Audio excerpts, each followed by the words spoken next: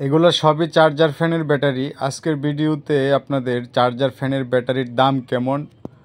বাজারে কি কি ব্র্যান্ডের ব্যাটারি পাওয়া যায়? কোনটা ভালো হবে? ব্যাটারি কেনার সময় কি কি বিষয় মাথায় রাখতে হবে? এবং একটা চার্জার ফ্যানের ব্যাটারি সাধারণ কিছু নিয়ম মেনে ব্যবহার করলে কীভাবে দীর্ঘদিন ব্যবহার করা যায়? এই বিষয়ে কিছু তথ্য আপনাদের সাথে শেয়ার করব। সাথেই থাকুন।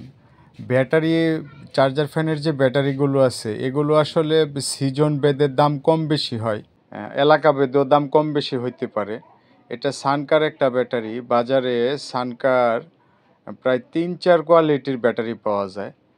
এই কারণে ব্যাটারিটা কিনতে গেলে অনেকে কনফিউজড হয়ে যায় আর ঠকার একটা সম্ভাবনাও থাকে। কারণ এই ব্যাটারিটা, এটা তিন চার কোয়ালিটির ব্যাটারি পাওয়া যায়, দামও তিন চার রকমের হয়।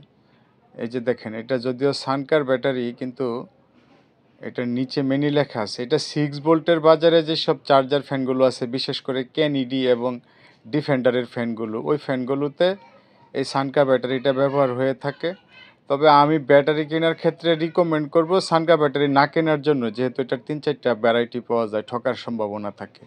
এটা ডিজেডিসি একটা ব্যাটারি ফোর পয়েন্ট ফাইভ ভোল্টের চাইনা একটা ব্যাটারি।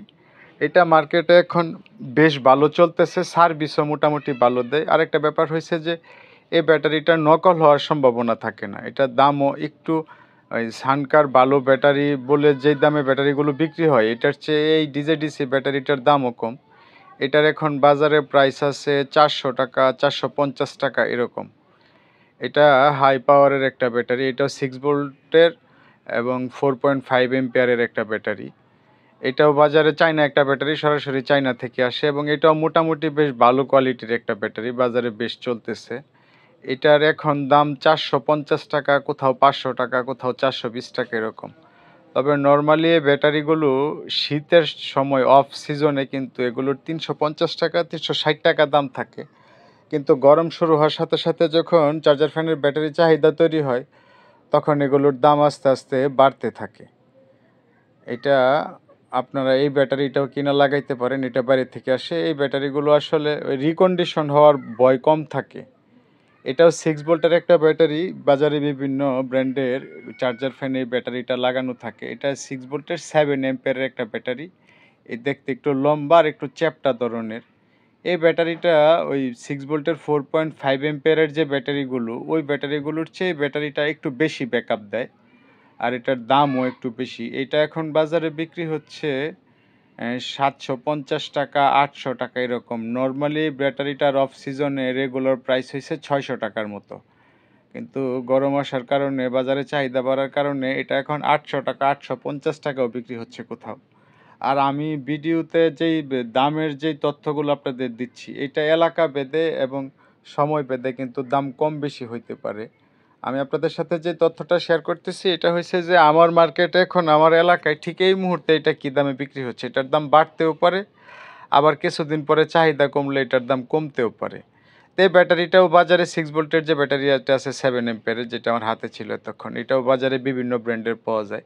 এটা বারো ভোল্টের একটা battery, Walton, Vision, Kennede, Defender এইসব ব্র্যান্ডের অনেক ফ্যানে বারো ভোল্টের এই ব্যাটারিটা ব্যবহার করা হয়। এটা সিক্স ভোল্টের দুইটা ব্যাটারি সমান সাইজের একটা ব্যাটারি। এটাও ফোর পয়েন্ট ফাইভ এম্পিয়ারের ব্যাটারি। নর্মালি যে ফ্যানগুলোতে ব্যাটারিটা ব্যবহার করা হয়, এই ফ্যানগুলো থেকে মোটামুটি তিন চার ঘণ্টার একটা ভালো ব্যাকআপ পাওয়া যায়। এবং এই ব্যাটারিটাও বাজারে ডিজেডিসি হাই পাওয়ার মেনি ক্যানিডি ক্যানসন এরকম বিভিন্ন ব্র্যান্ডের বা বিভিন্ন নামে পাওয়া যায়। এগুলো সব চায়না থেকে আসে এবং মোটামুটি এক দেড় বছর বেশ ভালো সার্ভিস দেয়। ব্যাটারি আসলে সার্ভিস ডিপেন্ড করে ব্যবহারের উপরে। এইটাও বারো ভোল্টের একটা ব্যাটারি নাইন এমপিয়ারের এই ব্যাটারিটা মূলত যারা হোমমেড আইপিএস তৈরি করে মানে নিজের হাতে ডিসি আইপিএস তৈরি করে ব্যবহার করে, তারা এটা ব্যবহার করে। এই ব্যাটারিটা সাইজে বড় হওয়ার কারণে এবং এমপিয়ার বেশি হওয়ার কারণে ওই সব চার্জার ফ্যানের যে ব্যাটারি আছে, ওগুলো থেকে ব্যাটারিটা আরও অনেক বেশি ব্যাকআপ দেয়। এটা দিয়ে দশ, বারো ইঞ্চি একটা বারো ভোল্টের ফ্যান মোটামুটি সাত আট ঘণ্টার মতো ব্যাকআপ পাওয়া যায়। আর ব্যাটারি আপনারা চার্জার ফ্যানের ব্যাটারি কিনলে চার্জার ফ্যান যদি আপনারা চার্জ দেওয়ার সময় ফ্যান ব্যবহার না করেন এবং চার্জ যদি ব্যাটারি ওভার চার্জ না করেন, অনেকে কি করেন সারাদিন কারেন্টে চার্জার ফ্যান প্লাগ করে রাখে। চার্জার ফ্যানে ব্যাটারি ম্যানেজমেন্ট সিস্টেম না থাকার কারণে ওভার চার্জ হয় ব্যাটারি এবং ওভার চার্জ হয়ে ব্যাটারির লাইফ টাইম কমে আসে। অনেকে রাতের বেলায় সারা রাত চার্জে দিয়ে ঘুমান, সকালে ব্যবহার করার জন্য। এরকম করলেও চার্জার ফ্যানের ব্যাটারির লাইফ টাইম কমে আসে। তার মানে কোন অবস্থাতে ব্যাটারি ওভার চার্জ করা যাবে না। সিক্স ভোল্টের একটা, বারো ভোল্টের একটা ব্যাটারি সর্বোচ্চ হয়তো দুই তিন ঘণ্টা চার্জ করলেই এটা চার্জ হয়ে যাবে এবং সারাদিন এটা কারেন্টে প্লাগ ইন করে যদি আপনারা এটা ব্যবহার করতে থাকেন চার্জার ফ্যান তাহলেও কিন্তু চার্জার ফ্যানের ব্যাটারি লাইফ টাইম কমে আসবে। ধন্যবাদ সবাইকে, ভালো থাকবেন সবাই।